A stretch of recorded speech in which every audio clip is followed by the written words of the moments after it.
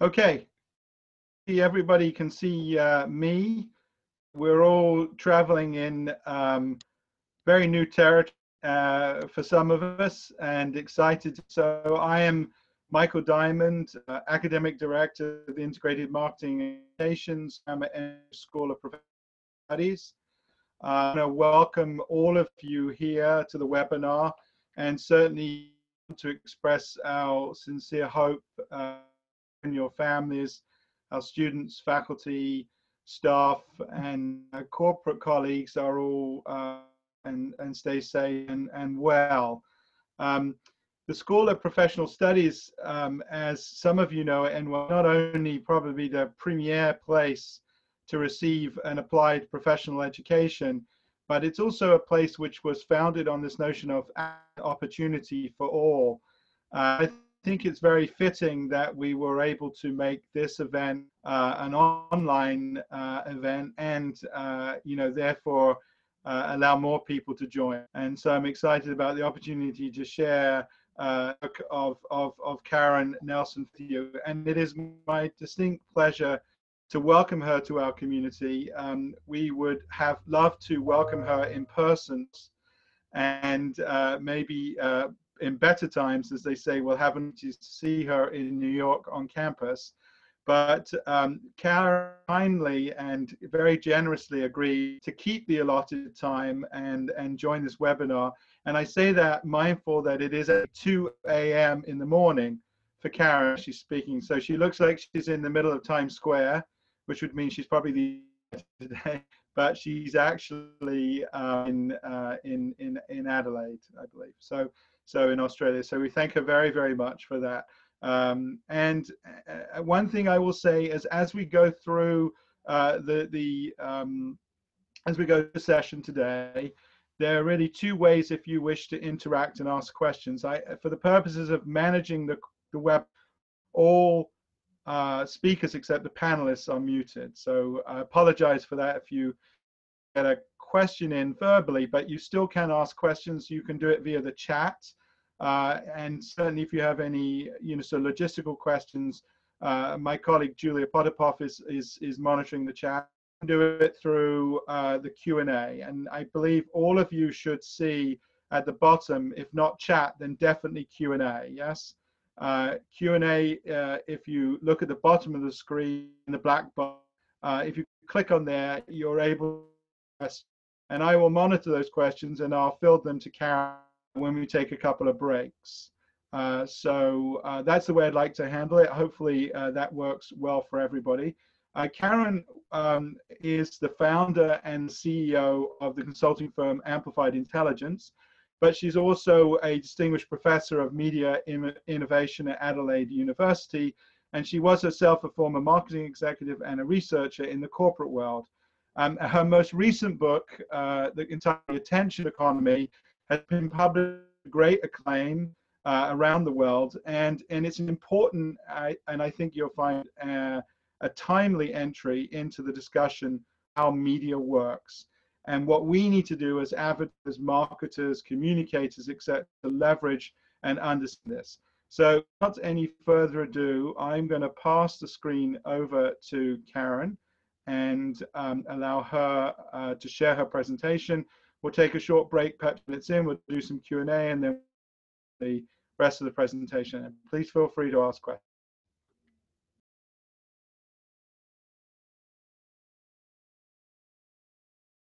Wherever you are. Everyone, super happy for to be part of this. I feel like we're we're all walking through history together at the moment. I'm going to share my desktop. Just bear with me. Um, Okay, people.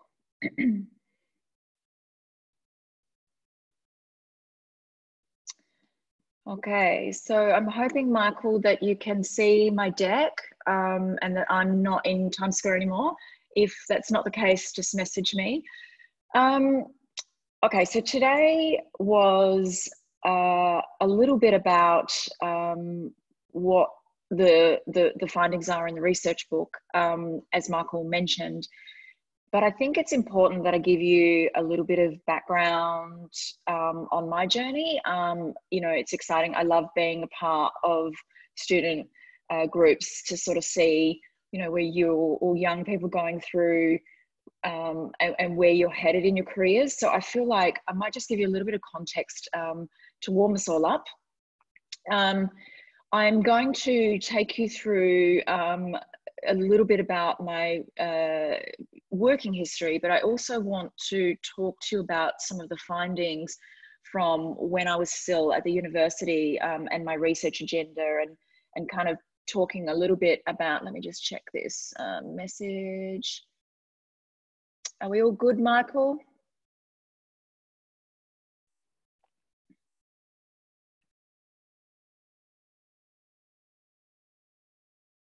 Oh, good. Ignore the messages. Sure. I will ignore them. Um, okay, so without further ado, hmm. okay, so so before I do, I, I I am very fortunate. So to Michael's point, I do you know, I do have a commercial business. Um, there's 10 of us. Uh, we're not a, a, massive business, but we have launched technology in 10 countries, uh, sorry, six countries. Um, and these are some of the uh, brands that have been fortunate for me to, to work with. Um, and some of them are fairly large players. So um, thank you to all of our sponsors. Um, and they, they all do different things. Some of them are sponsoring attention uh, research. Some of them have been looking more broadly at marketing um, and strategy and media strategy more broadly. Um, but I'm very, very fortunate to work with some of the biggest businesses in the world. Okay, that's my emoji. um, so let me just take you through my journey. Um, so in my 20s, when I was your age, because I think you're doing masters, if I'm if I'm right, when I was doing my masters, I was actually working full time for News Corp. So you know, every Australian works for News Corp. That's kind of in our blood. Um, I was the youngest um, manager of advertising sales in their history um, and ran some teams across multiple publishers.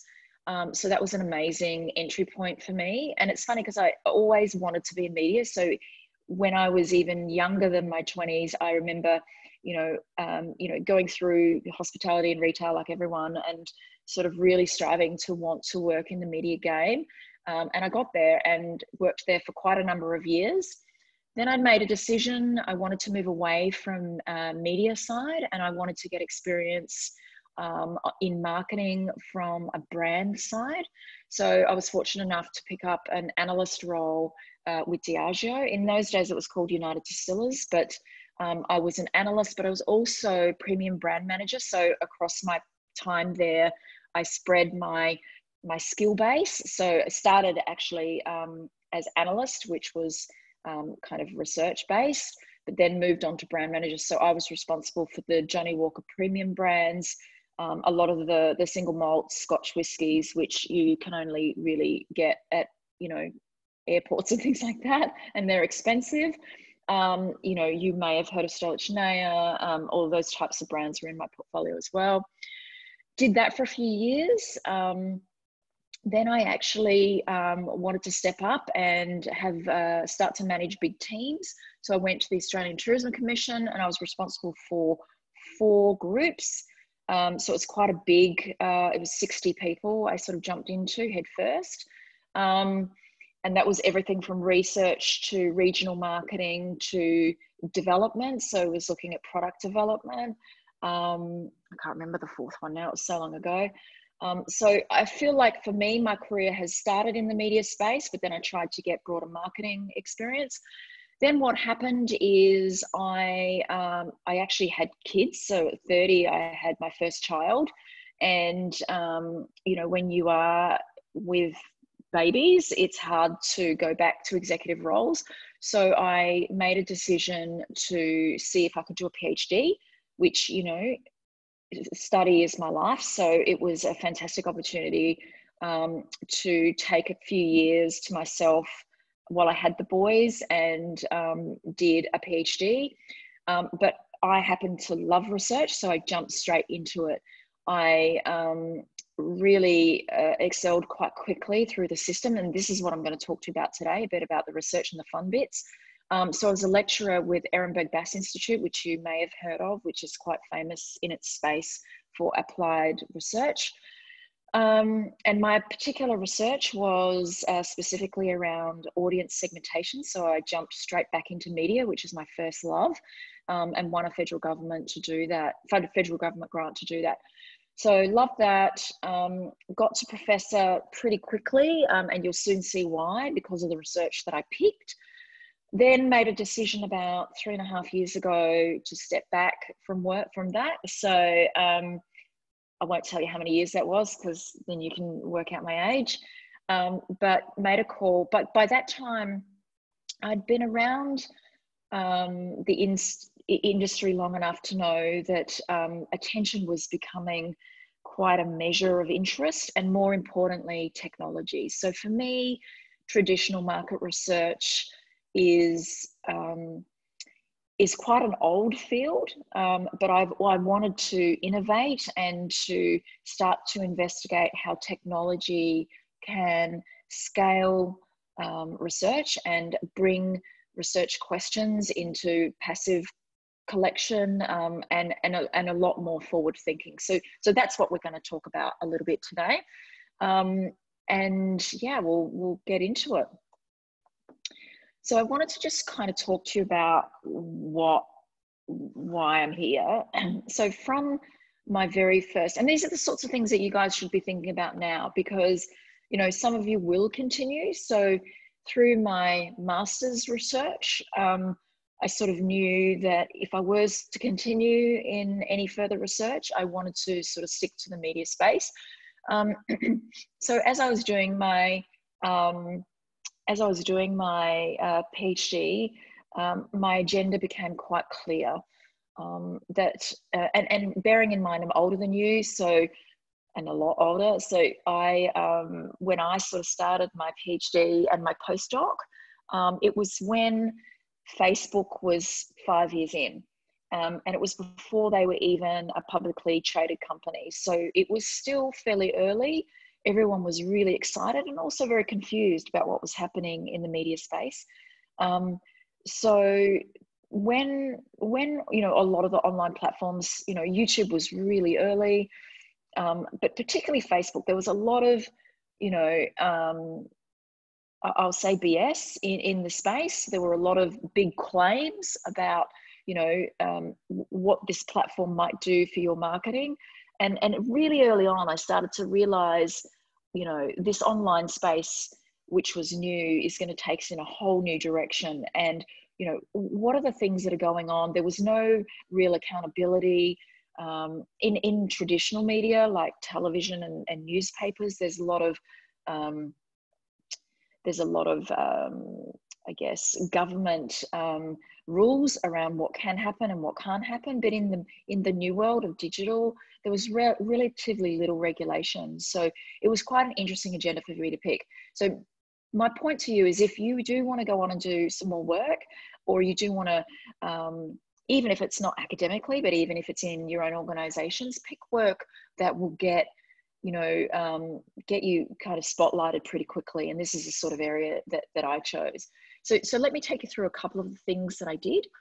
So right back in 2012, um, really early days, I said before Facebook were even a massive thing, um, it was uh, not even IPO'd. Um, I kind of knew there was a problem with the nature of the fan base. So again, whether you remember this or not, it was a while ago now. Um, but they were claiming these big things like um, you know if if you have followers you know you get all this extra loyalty and all this extra engagement um, and at the time having studied with Ehrenberg Bass um, I knew that the concept of loyalty was um, probably a myth um, and the way to grow a brand was much more about uh, attracting light buyers than getting people to to be more loyal. So there are statistical regularities behind brand growth. Um, so I commissioned um, um, a, a, team of researchers, and, and in those days they actually had this these metrics um, sitting on the front of the the fan pages. So there was this thing called PTAT, which actually kind of clicked along, and it would show you on a daily basis or on a, on a minute by minute basis this little kind of ticker, and it was a combination of how many people liked you and how many people you know were sharing your content etc so we disentangled long story short we disentangled the algorithm to try and understand um, you know once someone liked your brand, how often did they actually go back to the fan page? And this, this major piece of work came out, which was in any given week, less than 1% of the fan base bothered to go back to the brand. So that was, I released that information, I presented that information in New York, literally at the time that Facebook were going to IPO. So it caused huge, huge publicity. In fact, we were noted in the trade press um, as having an impact on their less than stellar IPOs. So, so my name became kind of fairly common around, you know, they're challenging the engagement model. Um, so, so it was a pretty freaky time for me to be a postdoc and then be kind of literally hunted down by every newspaper or news publisher in the world trying to understand what this research was about. So, so Facebook were not very happy with me at the time, um, but it was one of those pieces of research that literally catapulted um, my name, I, I, guess, into into the world. Um, so the next big piece of work that I wanted to challenge, albeit this is probably not an appropriate slide for today, um, but um, it's also kind of a very relevant slide. Um, so back in 2013 and 14, this concept of viral marketing became a thing, and everyone sort of said, you know, if you share it, then thousands or millions of people will see. So this concept of, of viral marketing. But I often say to this day that the word viral is probably one of the most grossly misused words in marketing lingo today. Again, quite difficult to talk about given the distance that we have between us. But the reality is that the way that content diffuses is not like a normal pandemic. At the moment, if one person coughs, lots of people get it, whereas the way that content diffuses is the other way. So you have to have a lot of people that are infected for a few people to share it. So we proved that out um, across multiple studies and multiple years and um, ended up putting it into a book actually. But again, picking these big, high profile concepts to sort of disprove um, made me kind of fairly famous in the in the space. So there was a huge amount of work around that. I was able to present at Cannes. Um, we also looked at emotions that helped um, the the view to share ratio. Um, so that I ended up writing a book with Oxford University, um, and I started the Reach is Not Free movement. So, what that means is you can't just expect. So, there was this whole concept of earned and paid media in those days. Um, it's not so much the case now, but I started this this movement that Reach is not free, and in fact, you have to seed content online for you to get any sort of incremental or uh, free reach. Um, so that was another piece of work that I was really proud of. Fast forward a couple more years. Um, by this time, I started to look at um, work around um, the viewability standard. Let me explain that to you. So, so up until now, the internet was fairly unregulated. Um, whereas, as I said, so newspapers in particular, television in particular, were very, very government regulated. So, so the rules around how an impression was formed, so how, how an advertiser pays for that, and how um, or, or, the rules around what content you can put on were really, really rigid because it had been around for years and years and years. But with the advent of the internet, it was all very new. So um, around 2014, um, a group of um, industry bodies started to get together and go, hang on a sec, we're all being ripped off.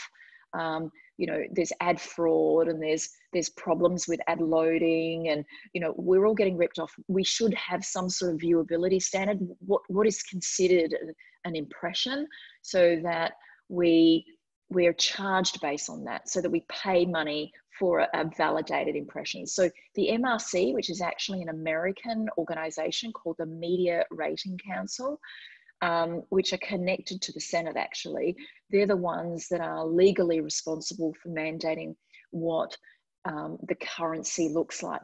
So around 2016, I think it was, um, sorry, 2014, 15, um, the MRC um, together with global bodies as well as advertisers as well as platforms came together and made this decision that you you are charged an impression if it's 50% pixels on screen and two continuous seconds of time let me explain that so an ad if you think about when you're scrolling online um, ads come and go through the the feed so officially an impression if it's 50%, if the ad is 50% on screen and it's on your screen for two continuous seconds, someone will be charged full tote odds for that. So that's what the viewability standard is.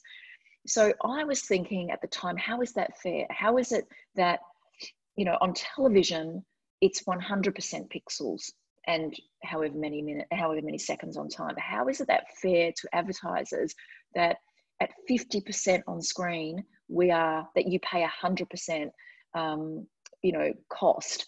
So I started to look into that. Um, and so some of the research that came out of that again became famous. Um, so this work, um, which was launched in 2017 in Australia, shows that actually once so there is there is a the minimum standard does render an impact so we said to the mrc and we worked with them that that's good news. That at the end of the day, if an ad is in 50% view, there is an impact of the ad, which is fantastic. But look what happens after the fact. So there's a material uplift in sales beyond 50% pixels in two seconds. So I, I'm an advocate for the advertiser, and I say, how is that fair to an advertiser who pays 100% premium, but yet their ad is on screen for 50% of the time? So that work, as you can imagine, was not very favorable again to the platforms because because think about the way the platforms work um, if you if we if we sort of talk about Facebook they, they've improved their viewability standard now but at the time you know it's hard for them to achieve 100% pixels so anything above 50% would impact their commercial models so so there was a lot of pressure but obviously very contentious point so it it it, it got a lot of publicity. So I went to market with this statement, which is visibility is king, and it's a very large contributor to attention and sales. I'll get to attention in a minute because by this time we'd started to record um, passive attention. So for me, again, made huge, huge waves in the marketplace. Um, I got to press everywhere. Um, the MRC was challenged around is this okay that advertisers are being shortchanged? Um, and sure enough, um, what happened was that the MRC started proposing 100% viewable cross media standards. So, so there is movement towards. So people, research makes a difference. So do do good research, get it out there, and um, you know it will have an impact, which is what you you want your work to be. Okay, so fast forward uh, to today. I am going to talk to you a little bit about what I'm passionate about at the moment and how we collect the data we collect. Um, so the, the, latest thing on on um, my uh, agenda is the way that advertising is being traded or the way media impressions are being traded. Um, so again, you you guys are all not very old, um, but if you do understand at all how measure how media is bought. Essentially, media is bought on a cost per thousand basis, and it's typically traded on um, an opportunity to see relative to demographics. So if you're at home and um, you might be watching television, you would be considered an opportunity to see if your television's on, for example. And like we just said in the digital space, an impression is with if the pixels is 50% in view, but no one really understands whether there's a human involved because there's ad fraud um, and there's measurement issues. And each of the each of the platforms uh, mark their own homework. So how it works is the big measurement companies collect data from the platforms um, and they have to take that as gospel.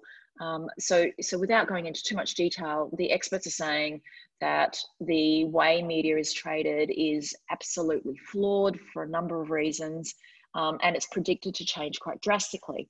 So, for me, what I'm good at is I'm good at picking future uh, arguments, and this is something that I've been sort of seeing for a while. Um, but the concept of attention now, this is human attention, so this is not clicks this is not proxy measures, they call them vanity measures. This is about human attention. So, are you even in front of your phone? Are you looking at the ad? Are you in front of the television? Um, not are you potentially in front of the television?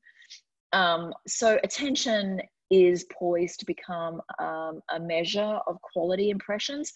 And it's something that I picked a while ago. So, I'm going to just quickly take you through the technology that we've built um, over the last three and a half years so that you understand what we do and the depth of what we do. And then I'm going to talk to you about the book and what findings we have um, so that you understand where we're at. Hopefully, you're all still there and I'm not boring anyone. Um, it's hard not to see you. I wish I was in front of you.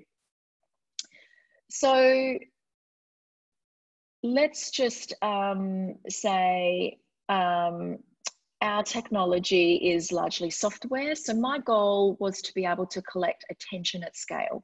So what we built in essence is, and we'll, we'll dial it down to Instagram. So what we've built is we've built a system that um, you would, if you were a panel member, firstly, I get your approval. So you, you've logged in as a panel member and we pay you for this and you've approved. In fact, it's double opt-in. So just in case you're concerned. Um, so we have an app system um, and a software architecture system, but you download our app. You say, yes, I'm happy to participate. And yes, I'll take your money, thanks. You log in with the login ID that we give you. You again are happy that we intercept your camera.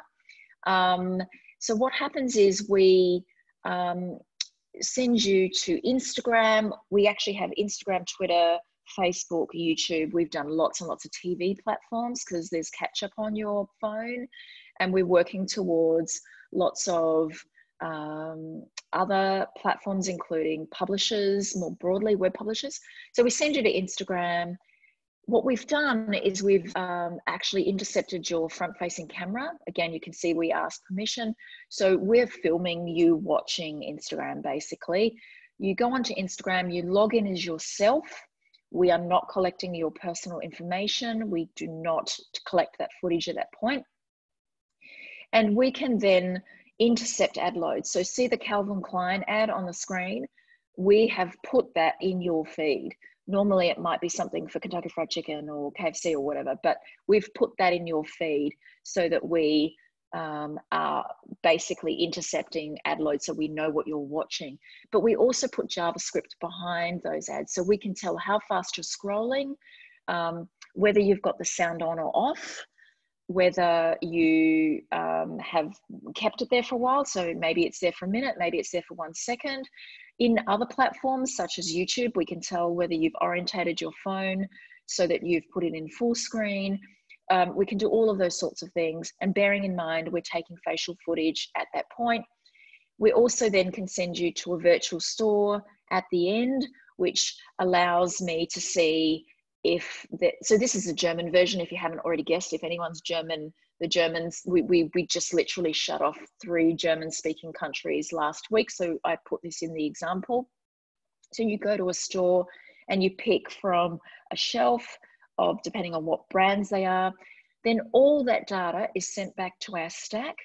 And essentially, what I have is whether you've seen an ad, whether you've been exposed to an ad, whether you've interacted with it at all, what you've chosen. The facial footage is then sent back to our, these are our machine learning models. And what we do is we can tell whether you're not looking at the screen at all. So if you're not looking at your phone whatsoever, whether you're looking at the phone and not at the ad, so you might be reading your feed, or whether you're looking at the ad. So that facial footage is transposed back through a mathematical model that allows us to tell where you're looking on, on the page. So again, bearing in mind we have YouTube, Twitter, Facebook, Instagram, BVOD, and we can intercept ad load across all of those platforms so that we can tell what metrics of the platform have an impact on your attention so that score is attention. So it's pretty it's pretty deep. We've been doing it for a few years now and at the moment we're up to six countries 15 platforms 120000 test ad views. So we're pretty proud of it. So this is what we're going to talk about today. So all of the work from the last three and a half years i'm going to literally share. I literally was in london. I'm in self-isolation at the moment because i was literally in london last week presenting my book. I was supposed to be with you, but unfortunately Trump locked me out. Um, so um, what's happened from the back end of this work is again, always pick things that you will uh, be in the press for. So we've also um, started, I'm a co-chair of a global attention council. So we're really passionate about the work around um, improving or uh, being a part of the conversation with impression reform. So some of the brands, I can't literally tell you the ones that are about to be announced because I noticed this is being recorded. But some of the famous brands at the moment are Mars, Microsoft, Diageo, Dentsu, and Horizon. Um, and there are also there's uh, four or five of us that are um, uh, vendors, so people who are researchers that are involved. So um, yeah, it's pretty exciting to be a part of that. So I just want to show you a quick video. So our technology was um, highlighted at CES this year. Luckily, fortunately, it wasn't cancelled. South by Southwest was cancelled, which unfortunately I was going to be a keynote, but I didn't get to go to. But CES, this is a quick video of what we do.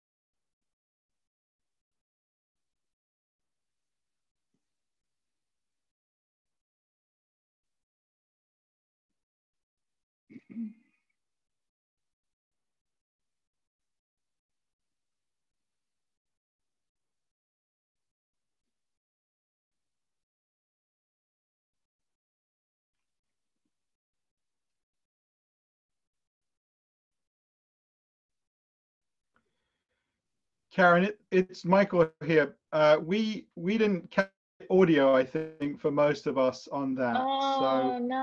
um, Okay.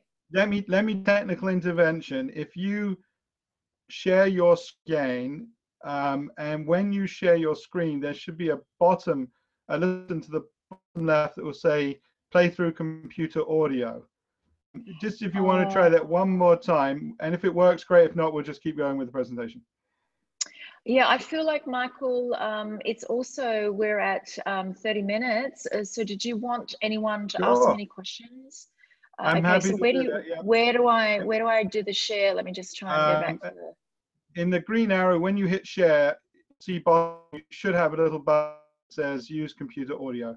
If not, we'll proceed. So guys, any questions? Um, I'll take the video back uh, from, from Karen and, um, and uh, I will, um, I, I will um, pixelization. One of the things, it's kind of a question that I've heard is, you know, we're interested, I guess, why you think the advertisers and the media players have been a bit uh, uh, resistant to some of your ideas. You know, we, we would expect them typically to really want to get ahead of, uh, of, of the curve. So what, what do you think some of the resistances? So advertisers are not resistant. It's media owners that are resistant. advertisers love it. Advertisers love it because it brings, you know, fairness to uh, and a voice to to their trading. So the only people I get drama from are the media owners, and with respect, it's because it can impact their commercial opportunities. Um, so you know these these media owners are going to market with you know major claims of um, you know if you advertise with us this will happen. And most of my research shows that that's not the case. Um, so it, it, it's challenging their commercial model. You know as a researcher the, the good news is that um, many of them have actually improved their functionality as a result of the work we've done. So i'm really really happy with that. But to be clear advertisers love it because they feel like someone's on their team, and that's my job. Right. Perfect. We had some questions too about the uh, technology itself, and and it's just how do you get people to? You know, you've had a large number engaged, but uh, you know what what's what's the pitch? How do you participate? I, I presume uh, the questioner meant people. You know, the people who's you're then going to be watching. I pay them a lot of money. So would you do it for 50 bucks for 10 minutes? Um, so I pay them a fair bit of money to do it. Um, we are GDPR compliant um, and we have um, it uh, translated into multiple languages. So we I am super, super fussy about ethics. So none of that facial footage we see, it goes directly through a um, an automated model. So not even my staff see it. It goes through our servers and it gets translated to score. Um, so we're super fussy. And when we recruit, we recruit through global panels that handle this sort of stuff and we pay you money. Um, and we are very grateful for anyone who's interested in being part of the research. Um, and, and, and, and at a moment's notice, if they don't want to be part of it, we delete their data. Um, so, you know, research like this is not cheap. Um, and we are working towards a scalable model at the moment. Um, but, um, you know, we, over the years, we've improved the seamlessness of it. So we just, yeah, we, we pay people who who were interested in being part of it and who were grateful to 50 bucks or something like that. Perfect. We're, we're, a couple of questions a bit about the uh, you know benchmarking essentially and then and then a couple of questions about sort of you know sort of ecosystem change you might be able to the question came in about are you creating any kind of benchmarks for attention in different media? So is there a way to think about you know uh, attention across media because um, it would seem that it would be quite helpful for advertisers then to use it to evaluate different creatives across different media. Mate, that is the best question. Firstly, because we haven't done the second part of the presentation, um, that is a great question, but you will see essentially from the second part what we've done. But that's 100% why we're doing what we're doing. Um, so the plan is about generalizable baselines. Um, so where the data is being used now, so apart from the the book stuff, which is you know do this, this, and this, and that will help get more attention.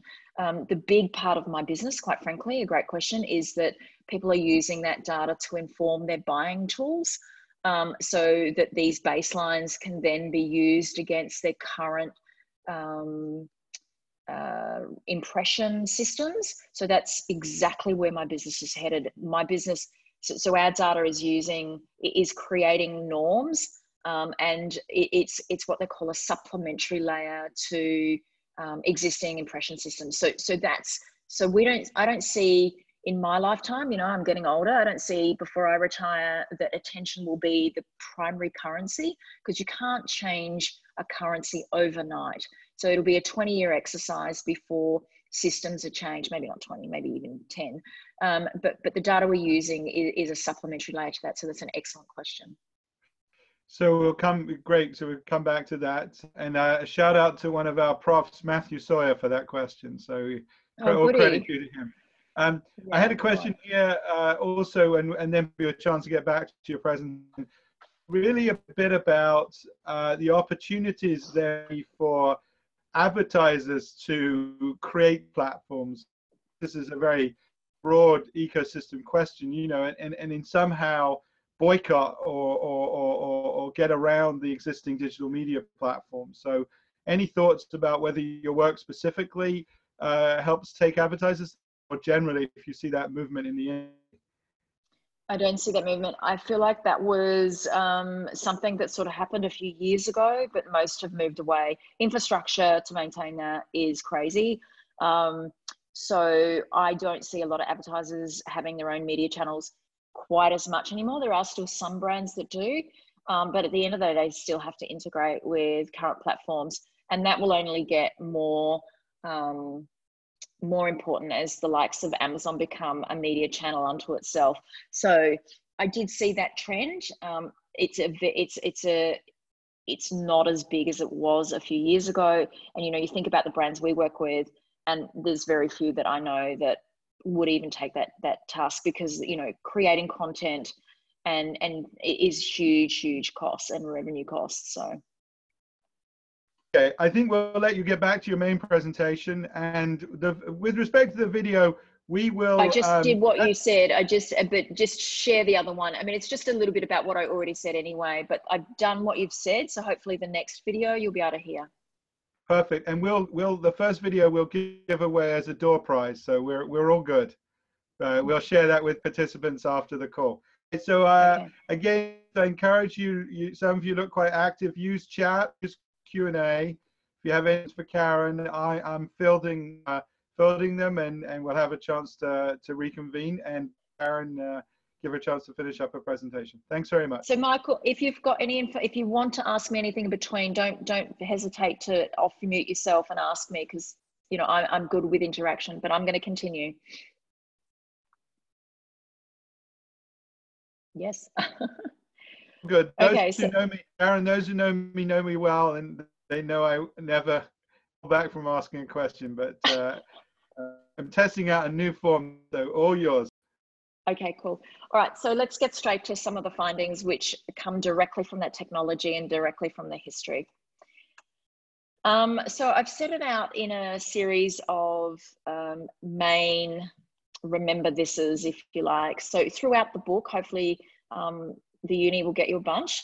Um, it kind of picks up the biggest um, learnings um, and separates them into these remember this is So what I'm going to start with is Okay, um, so in the age of distraction, um, attention is not the focused version that marketers realize. So I feel like this is a really important point. So what we can see in the data um, is that even even passive attention plays a role. So let me let me start by saying, you know, we're also mentally overloaded. Um, we filter out most things, let some things in. So if anyone does speed reading, how you build speed how you do speed reading is is via context so so it means that we're living in this perpetual state i call it perpetual state of zombie but it's technically perpetual state of subconsciousness um, and so what happens in our world is we we kind of largely operate in our own bubble and that occasionally we let stuff in and what we do is we take decision shortcuts to cope so you know if you're going to buy something let's just for argument's sake say I don't know, a new pair of jeans, there's only so much research you'll do, and then you go, right, that's enough. I'm going to buy that one. So, so you don't take everything in there. There's just too much information out there. And this concept is called satisficing, where basically you're trying to avoid overwhelm and you make decisions based on that's good enough. Um, and the more busy we get, the more um, the more that happens. And that, that's the same in the case of advertising. So advertisers need to understand that we don't sit there and pay undivided, sustained attention to ads, right? That's not realistic. At the end of the day, advertising is the least of our interests, particularly right now. Um, so, with it not being a priority, we switch in and out of focus. So, this is a, a, a data sample of a typical, I think there's four or five views on there. So, most um, humans will switch in and out of focus. So you'll see that our scores go from zero to 50 to 100, zero to 50 to 100. So we see rather than you sit there and you watch an ad from zero to 30 seconds, which is unheard of, you literally go, oh, what's that? Look out, look out, like get distracted, move back in, get distracted, move back in, sit there for a couple of seconds. So that's the reality of focus. So so we are not getting people's engagement and we're not taking them along this long branded journey for 30 seconds or even 10 seconds to be honest. It's a constant switch in and out every couple of seconds. And when advertisers start to understand that, they can understand that there are things they can do to improve those moments when we actually do watch. Um, but that is the reality of our world. And unless you think we're going to get less busy, that is the reality of our world. So these things called guidance triggers. So guidance triggers come from the psychology literature, which talk about things that stimulate attention, and it can do things. Uh, it, it, there's two ways. So top-down triggers are things like personal relevance, um, so the majority of my book is based on the second one, which is bottom up triggers. So things that an advertiser can do to do to drive automatic and unintended attention. Um, but top down relevance is is important too. So obviously, if you are particularly looking for those pairs of jeans, you're going to look at ads for pairs of jeans more intently, and that's that's a that's a given. But that happens very infrequently, and that's hard to target at scale. So bottom up triggers are things like uh, things things that snap you into attention without you even having um, really noted it. So when when a siren goes, probably different in New York because you hear a lot of sirens. But if there's a siren going here, we know something's wrong, and I'll stop and watch. Um, so those, or if, if someone's talking or you heard your name called, you'll probably um, stop and watch. So that's that's bottom up triggers.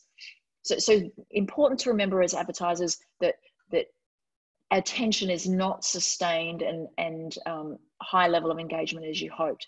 Um, so, so another big important thing, we just talked about how we collect for visibility and we, we talked about how um, my work with the MRC um, guidelines really, really made a splash. I'm going to talk to you a little bit more about that now. So the second, remember this, is if you can't see the ad, guidance triggers won't help. Um, and I often, you know, talk about this as being an obvious moment. I, I, am sometimes embarrassed about this finding because, you know, if an ad's not there, if you can't see it, no matter how, you know, relevant or no matter how, you know, um, uh, unexpected it might be, it's not gonna it's not gonna help. So so uh, the book talks a lot about the concept of pixels and coverage. Um, so if you think about pixels, um, so this is the MRC standard. Pixels is the proportion of the ad that is on the screen, right? Whereas coverage is the proportion of the screen that the ad covers. So they're slightly two different um, concepts. The coverage one is about spatial clutter because it kind of, if it's 100% coverage, there's no other ads around it. So there's no distraction, which is why we see what we see in a lot of the online platforms is why attention's lower. I'll get to that. But what we did find um, in our work is that pixels matter a lot to attention and brand choice. So anything below 100% pixels diminishes the opportunity for advertisers. And we also see that screen coverage plays a role too. Now, bearing in mind, what I didn't tell you is, and the video did explain, is we do mobile, but we also do television. And we've also done tablets and we've also done PCs. So, so we have, we're very fair to the different platforms that we we consider, and we can see these relationships generalize across multiple media and multiple countries, which is where we're starting to get these baselines, which is why it was such a good question. So it's no surprise that attention varies considerably across platforms because we know that pixels and, and, and coverage play a role. Obviously, ad visibility differs so significantly by platform. So, um, you know, if you have a look at Facebook compared to YouTube, Facebook's viewability or visibility is significantly lower than YouTube, and YouTube's is lower than television. Again, all of, in fairness to all of these platforms, what we've seen in the last 18 months is that they've improved their viewability averages, um, but it's certainly not 100% pixels, 100% coverage all the time, which if you see to the right, you can see that on most, in most cases, is, is how you would watch television on a mobile or television on a major screen, or cinema for that matter. You know, cinema's full screen. Um, so ad visibility makes a big difference. and and if nothing more then you know it can mean the difference between seeing the brand or not so you know if you've got a, um, in on the case on the left a 70% pixels ad but the brand happens to be in the bottom right corner then you're not going to see what the brand is for. So we I'll talk about this in a minute um, but but if you don't see the brand it's quite likely that you'll misattribute that ad to the larger competitor. Um, so if anyone knows anything about double jeopardy, which means that bigger brands um, have more uh, have have more customers and they buy more often, it relates to mental availability as well. So bigger brands, you think of them more, and more people think of them. So so that's a really important issue with viewability because if your brand's not present for any moment in time, then um, you know it's quite possible that if you were Pepsi, you'd be attributed to Coke. Um, so time on screen helps too, um, but we see that less so, um, and we see this with diminishing returns. What that means is that um, you don't have to have it. It doesn't get. It's not exponential across the curve. So so it's a point where enough's enough seconds, um, and that varies depending on which platform. So so the the the the bigger screen platforms, there's a there's a, a sweet spot of more seconds whereas the platforms like facebook the sweet spot you know the most attention you're going to pay if you're lucky is four to six seconds if you're lucky. Um, so we do see that the longer it is on screen the better but there's a point at which it doesn't improve your return. So so time is important but not as much as being seen. So going back to these triggers um, this is um, some work that another professor in Australia, he's actually a Harvard um, med um, graduate, but he's now in Australia. Um, he talks about the concept of unexpectedness um, being a bottom up trigger. Let me explain. He talks about if you want to grab someone's um, attention, you must you must break their prediction. Like so, we go through life in this constant state of zombie, knowing what to expect we know when you get to a stoplight what's going to happen. You know generally you know when you're driving you're almost in autopilot. We, we live in this world of autopilot. So so jared um, talks about and he's got a separate book. He talks about if you want someone to pay attention you have to break their prediction because they go my god wasn't expecting that. And and he talks about this concept of when a prediction fails that's when a brain is primed to take in new information. Now, interestingly, his work is related to education. So his is not in advertising, but he looks at um, how kids learn. Um, and so a lot of what he talks about can be can be related to our world. Um, but obviously the education sector is, is a much more important piece of work. Um, so this piece of work um, that an agency out of the US did, I feel is really funny example. And you know, if I could hear you laughing, I would love that. But I often say this on stage and go, so so so the Colonel Sanders on the right broke my prediction, and I'm kind of happy he did. Whereas you know, the big old fat Colonel Sanders is less eye appealing to me. So, so there are some advertisers that are kind of looking at um, unexpectedness and going, look, we're going to have some fun with that. So you should follow that campaign. So um, modern Colonel Sanders, they do some crazy things, um, but this is obviously my favorite. um, so this is Jared's book. I'm sure that you're going to get all these slides to, and if it's being recorded, you can take a note of that. Um, but if nothing more, people to help you through your education, um, so it's about brain science. So he's a, an, an actual neuroscience. So he's not a neuromarketer. So neuromarketer are people that think they're scientists in the space, um, but a neuroscientist is someone that actually understands cognitive functioning. So, so do grab his book if you can. But from my world, um, some things that we see as uh, triggers, as unexpectedness, is a good old fashioned emotions. Um, so some of my earlier work um, uh, which to this day gets um, quoted, um, we looked at emotions relative to sharing. So what we know about emotions is it's it's long noted as um, a behavioural outcome. So so people share more on high emotions. She, people um, you know email more, um, memes. memory, that sort of stuff. Um, so, so just to explain what I do is I split it into a construct of positive and negative emotions, pretty obvious, but then we split it into pairs. So within positive, there's high and low arousal. Within negative, there's high and low arousal. And what that is, that's not me doing that. That comes from literature. I just built the construct. Um, so high arousal emotions are things that make, you know, physiological response. So hilarity makes you actually snort and laugh. Um, inspiration you might just you know at the moment we need some of that to be honest. And you know you how how the stories from spain and and from italy where they're locked down and they're singing you know that gives you goosebumps makes you cry. Um, so that's kind of a high arousal physiological emotion. And what we see is that we can also see that is linked to attention. So don't worry about the graphs. I'll just let, let me just talk through it. But but what we see is that um, it drives a higher sales measure. Um, I'll talk about STAS um, a little bit, but basically STAS is, is an index. So we, so how we collect sales is we take brand choice and we also baseline it with um, what we would expect if someone wasn't viewing an ad and it's an index. So anything over 100 means an ad is successful.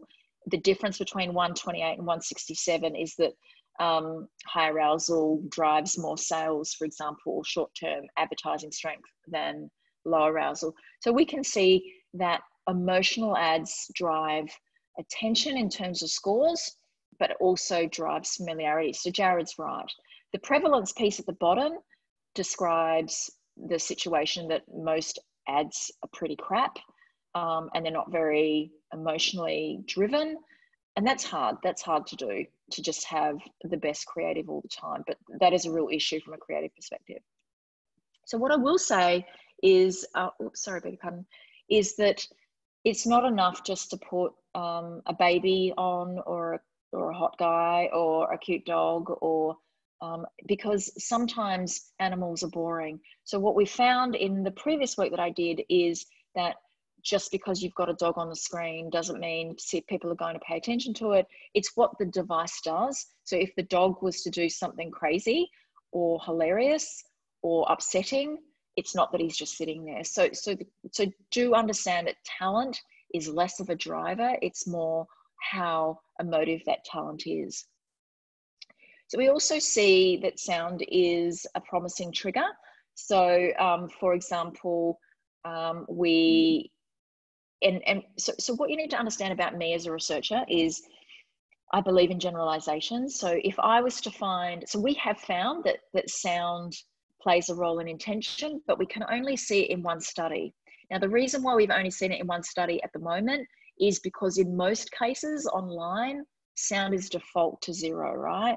So as a researcher, and maybe take this on board, um, when you see results that are one off, you have to take caution. It's a bit like, if, I shouldn't really relate it to Trump, but if he says something, you might wait for other presidents to say it as well to, to be, you know, meaningful with respect. Um, say with my prime minister, let's not go political, but but um, any one study that has what we call significant difference, you can't use it as gospel. You've got to wait to see if the pattern holds. Um, and then if if the pattern holds across lots of different boundary conditions, so different countries, different types of people, then you can go, right, there's this is meaningful and there's something here.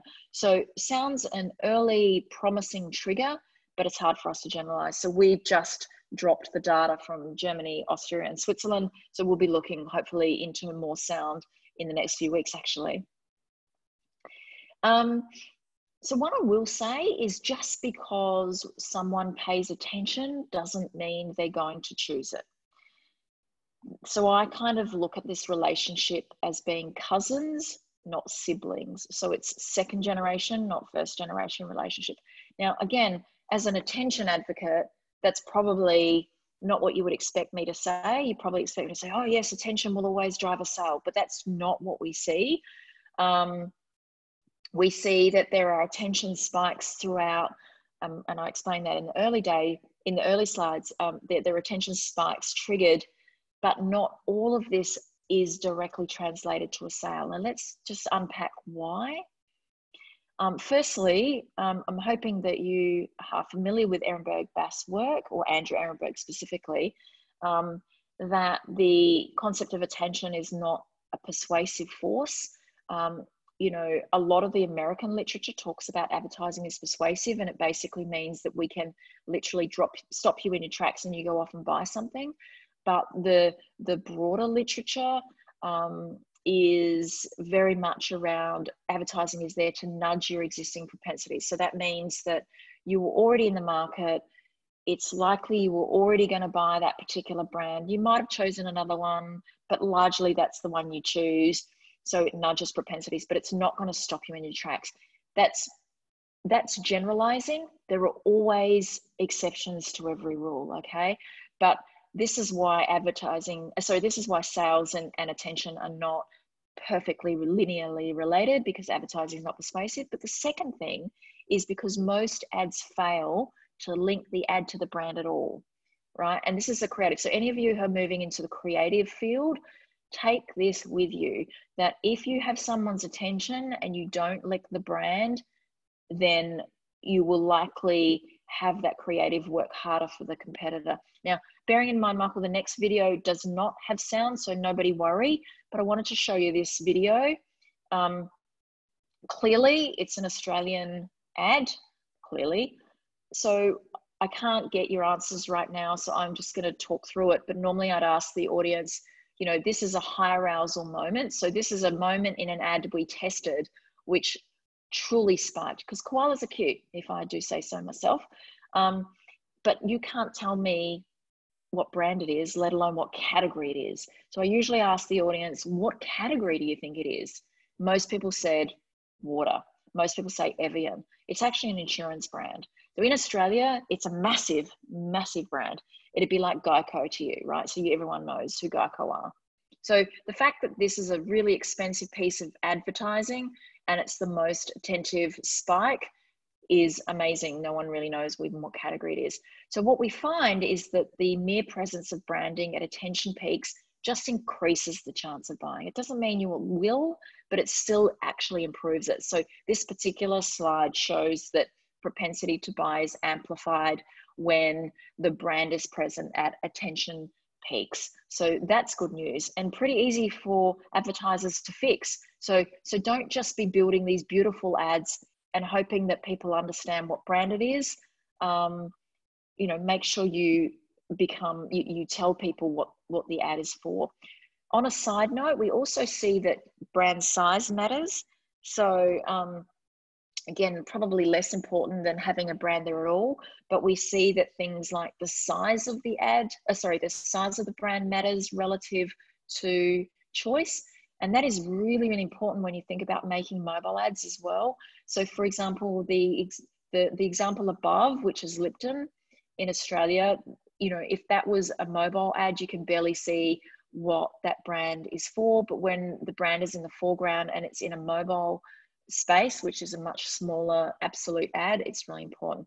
Duration matters. So try and keep the um, brand on for as long as you can on the screen because again we switch in and out of attention so, so just because it's there for a fleeting second doesn't necessarily mean that you'll register that and early branding matters we talked about uh, duration most platforms you'd be lucky to get a few seconds from particularly the high profile platforms um, that you know we don't want to name but you know you very rarely see an ad for more than a few seconds so it's really important that early branding matters as well. And the reason why that is again i would normally ask you uh, audience to to go with me on this but i'm just going to talk you through it. So because our brains are trained to satisfy remember we talked about what satisficing means? This means when the brand is missing we fill in the blanks. Normally, I have the audience sing along with me when we talk about that. Excuse me. um, so, what this means is again, the attention you work so hard for will be benefiting your larger competitor when we think about double jeopardy. So, that's really important. So, every time you make an ad, quality branding is the most underrated variable of all time. So, so be really mindful of that. I'm going to cough again, excuse me.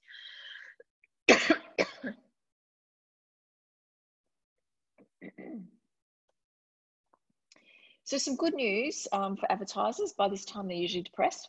So for good news for advertisers is that there is some value in low attention. Um, and what this means is that we can actually see that even if you're not looking straight at the ad, there is an impact, right? That's good news because we are filtering in and out um, and we are sort of scanning our peripheral generally. Um, bearing in mind, if you're looking straight at the ad, there's the highest lift. So, so let's not, you know, joke side, but there is um, a really big impact if you're going from zero attention to passive, what we call passive attention or low attention. So that's good news. And, and so there's this concept of when we notice, when we, even when we think we're not noticing, we do. So I've got a video. So Michael, butt in if the sound doesn't work. Hopefully it works now. But this is a little video and a little funny kind of explanation of priming.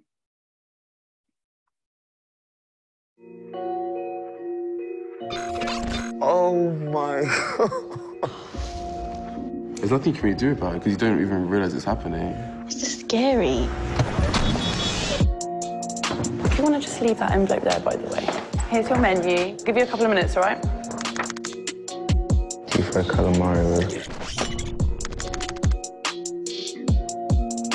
What are you thinking? Triple dip chicken. Triple dip. Triple dips. Triple dips chicken, please. This envelope was given to you before you made your choice, right? Yeah. Are you being for real? Oh my god. That's just crazy. There was other things that I wanted on this menu. That's so weird. How did you do that? I just want to know how.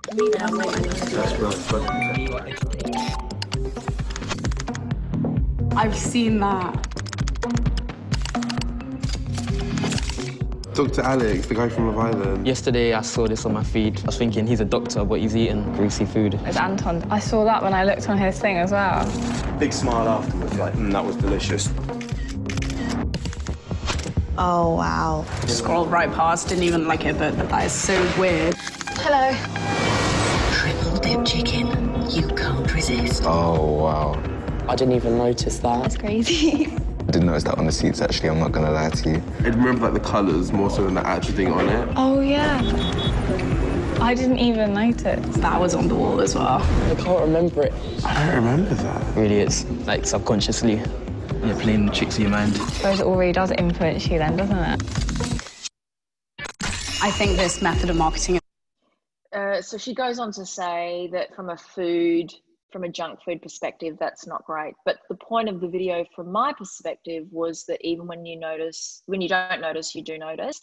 Um, but this is where distinctive assets are really even more important. So, so if you didn't think branding was important before, um, it's more important now because we focus out, right? So distinctive assets um, are another level than branding. So distinctive assets are things that you recognize without even noticing. So one of them said something about color. So a classic example is, you know, the yellow arches um, of McDonald's or the red or the, you know, the logo that is KFC. So the Colonel Sanders kind of thing. Sometimes it's about distinctive ads. Sometimes it's about music. Um, so, so do do some more work around distinctive assets. There's a whole um, set of literature on that. Um, but when you're not even looking and you recognize even in the peripheral that that ad is for that brand it's more likely that the relationship between attention and sales will become brothers than than than cousins. So bearing in mind remember that attention and memory are not the same thing. So just because i happen to look up doesn't mean I recognize in my brain what that's for. So that's where distinctive assets comes really important. So it's, it's a whole package of things. Um, one of the things that's really it's not on my um, research agenda at the moment. However, you have the world's greatest researcher in New York. Unfortunately, I was going to have coffee with him yesterday, but I can't. Um, so his name is Dr. Augustine Fou. Um, and he is, um, I guess, one of the most famous researchers around ad fraud. So do look him up. So he he um, has work on his LinkedIn file and that he shares for free. Um, but he basically not basically, he says that the ad fraud problem is larger than you think.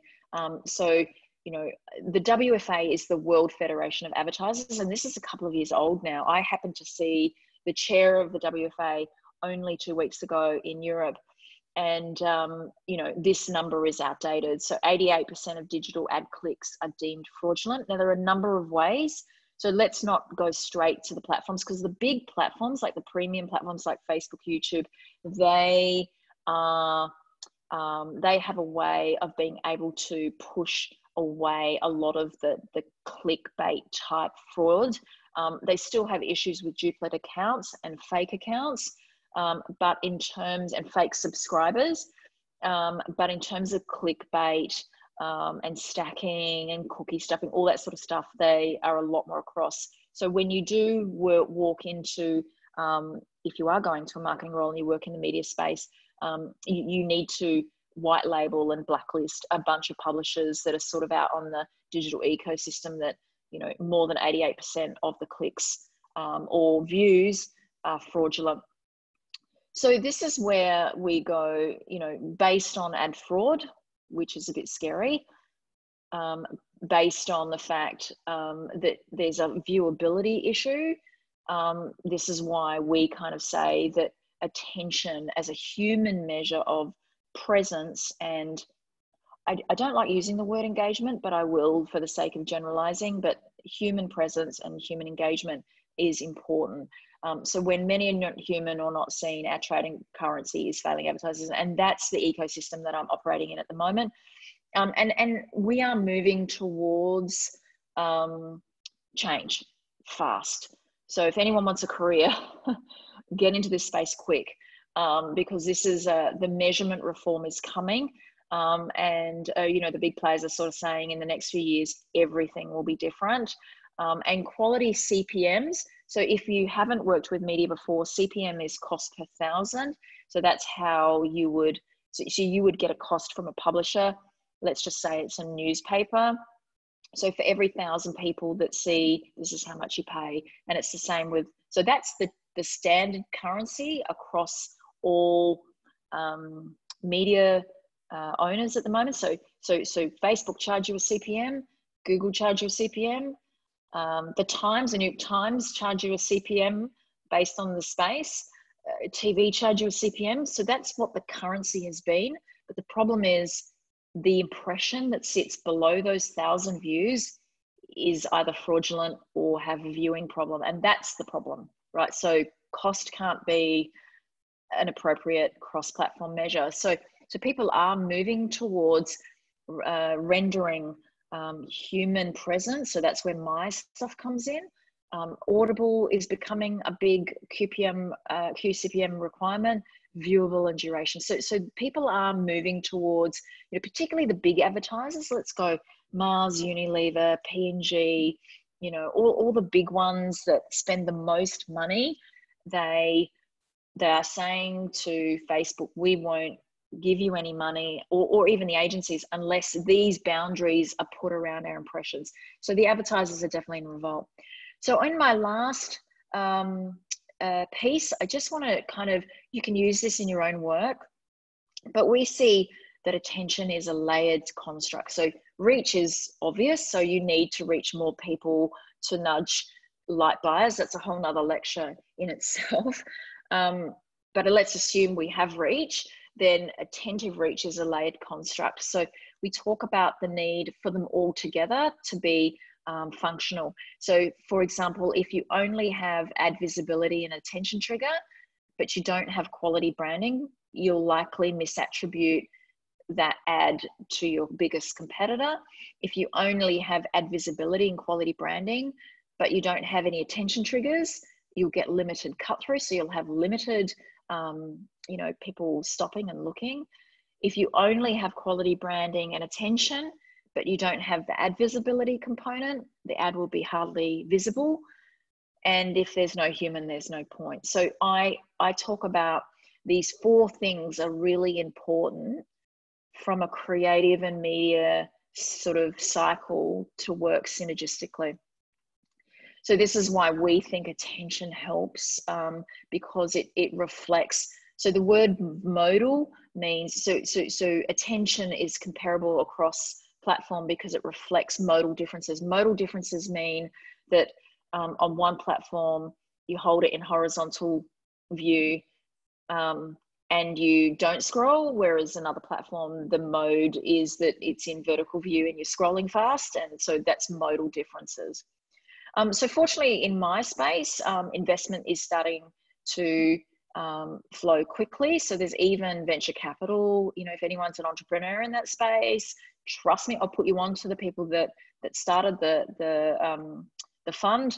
Um, but apart from agencies, so, so we are, we are in a change and you know i'm really really proud to be a part of it so for me my last little slide is um, in an attention economy not all reaches equal so michael my next slide was me sort of putting it out to the group you happy for me now to to move on to that yeah, well, I think, Karen, we have probably about 10 minutes left before we said formally we'd finish. So perhaps we'll, uh, you just see your last few questions, if that's okay with you, yeah? Sure, sure, sure. And, yeah. uh, and then we can leave fo folks with a thought. Um, I, do want to, Karen, I, that uh, Australia pulled out of the Olympics, or at least has suggested will, but uh, you deserve a personal goal for uh, for uh, for getting through uh, at 2 a.m.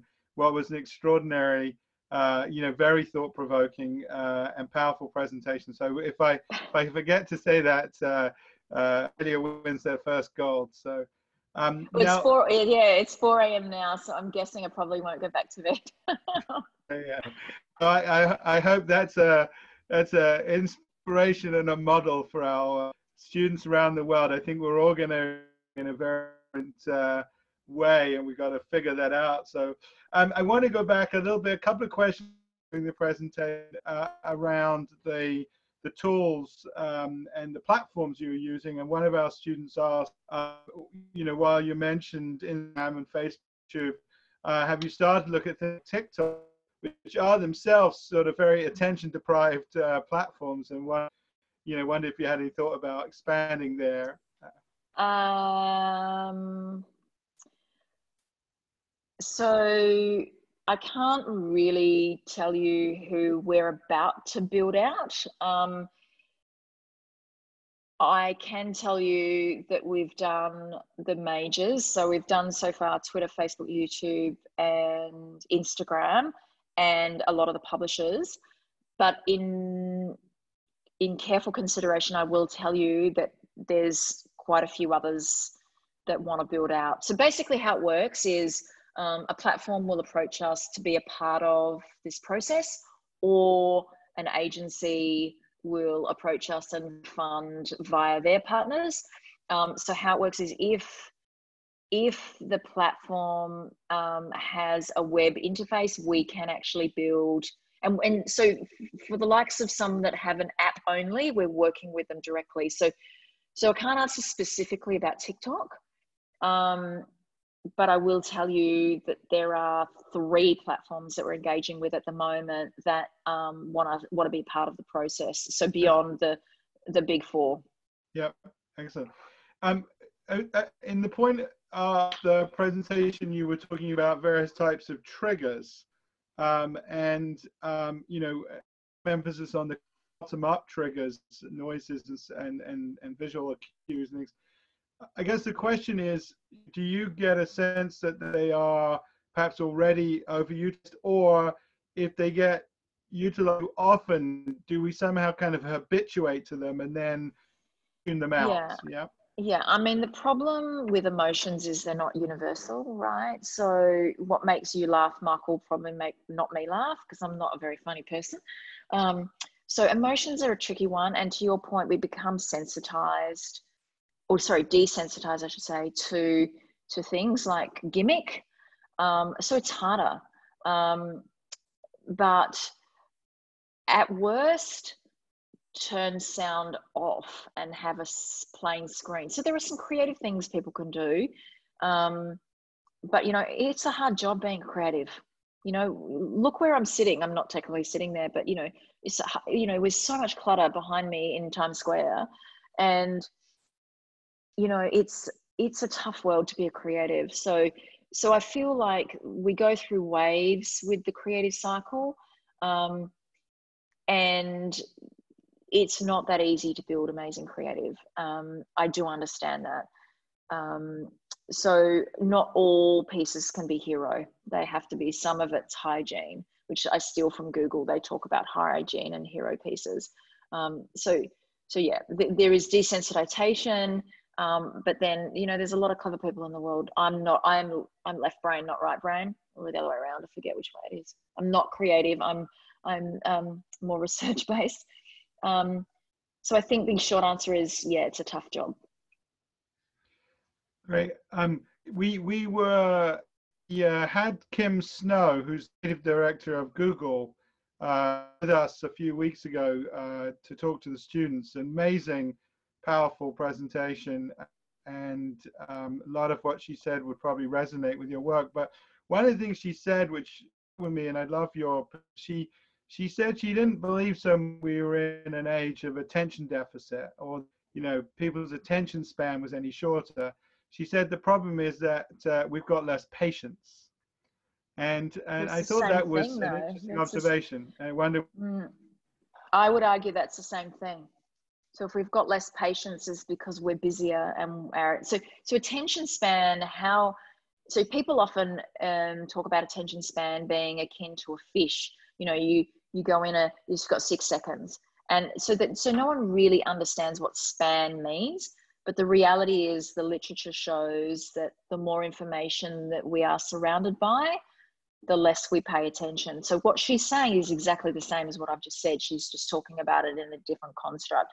Um, but with respect, this is the kind of pushback you would get from a platform because um, the minute that you make a platform accountable for human presence and for, dis- for time spent viewing, it's hard for them. And I understand that.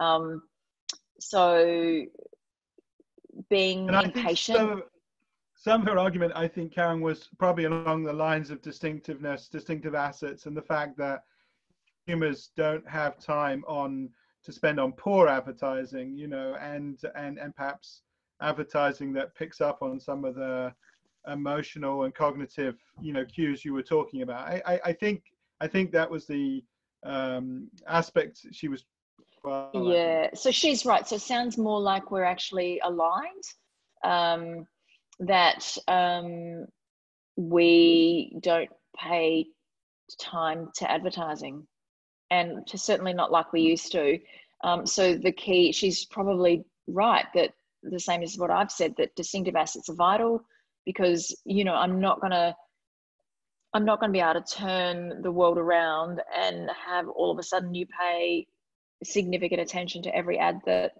is on YouTube. So, in that sense, her and I are aligned in the sense that she believes that when our attention span's not going shorter, I don't agree.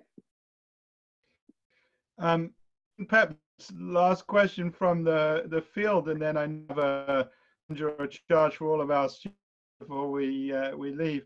Um, question, uh, you know, digging into the attention model a little bit, and, and um, what what do you think of the context, like in terms of you know the time of day, you know, the season, or even uh, you know put in a way something about living through the virus, this global pandemic must have changed uh, or influenced the models. How, how would you on that? Two things. Firstly, when there's significant change, the data is not normal, right? So, whatever we're going through right now, when we U shape back into our economy in however many months, I don't even want to think about it, um, we'll go back to where we were. So, so any data from this period, I would discard anyway, quite frankly. Um, but secondly, in terms of context, so let's take away let but i guess you're meaning you know we're paying more attention to news for example on covid specifically so that is a contextual conversation um, i i agree with you that there's not enough good research to to demonstrate that generalizable across multiple platforms. So bearing in mind, remember what I've done in the past is we've put the creative in so that we can tell, and in fairness, we can see. So, so creative makes a difference, right? So what we've done is we've we've put the same Calvin Klein ad into Twitter, same into YouTube, same into TV, same into Instagram, so that we can hold that variable constant so that we can understand the impact of the platform. So the next phase for us is to deep dive into context, but it's harder to do. And so my educated hypothesis would be that context matters without a doubt. So from the perspective of the virus, we're a lot more alert around things that tell us what's next. Um, in terms of the data from an attention perspective right now, it's it's not normal, but um, but there's not a lot. So there's early research, but it's not generalizable. So so um, but yeah, I, I agree. I think context matters or will matter. Right. I'm going to reappear if, as if by magic, hopefully. Um, let's see if I'm on here now. Um, uh, yep, I think I should be. Um, you guys, I, I, I do want to thank uh, Karen for joining us again. Uh, tremendously uh, uh, thought-provoking and engaging discussion. Uh, really powerful work. We look looking forward to having Karen in better times with us in person. And, um, you know, we're keen to work directly with her on a number of different initiatives. And I know some of our faculty who've been on the conversation as well at the bit to bring some of this knowledge into the classroom as well. So I want to thank you for that. Um, we will make uh, the recording available uh, if I, assuming I figure that out technologically, and uh, can also uh, send some additional links. You know, some some of the mentioned with some follow up for people on the call. Um, so uh, I know you have sort of parting question you want to encourage people to think about. Perhaps they can bring back to class. Today marks the beginning of class or the resumption of class after the spring break. So uh, you you can get them, you can get everybody uh, going. So over. So what you. I wanted to what I wanted to say was, um, you know, I'd love you to think about what BS you think's in the media space. Um, now, that could be anything from what they claim to do or, you know, what, you know, it's usually what they claim to do. But um, try try and think and think outside the digital world. Like you know, there's a there's a whole world of media outside of YouTube and and Facebook. Um, so, so what would you, if you were, if you were in my position, what would your research agenda look like? What, what would you call out, and what would you like to understand if it's real or not? And a classic example is what Michael just said: Does context matter? Um, so, so, so have a think about that.